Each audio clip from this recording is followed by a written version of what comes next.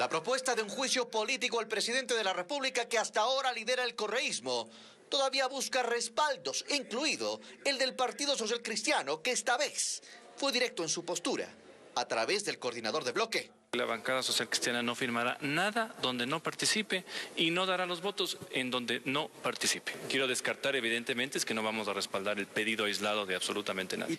Sin embargo, reconoce que podrían dialogar sobre un texto en el que participen en su diseño. Entenderíamos que debería ser un proyecto de texto consensuado entre los miembros de la mayoría, en donde en consenso se llegue a un texto muy bien redactado y profundo.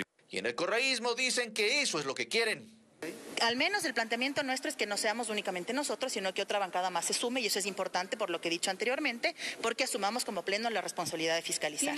Pero cuestionan a quienes aprobaron el informe y ahora se echan para atrás, dicen.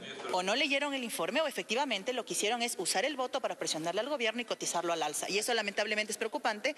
El coordinador de Pachacutic, aunque dice que la decisión sobre un juicio político no se toma aún, al menos en la solicitud del correísmo ratifica que no van a participar. Nosotros no vamos a firmar mientras no haya una decisión colectiva. No tenemos una posición ni a favor ni en contra. Podría ser que sí, podría ser que no.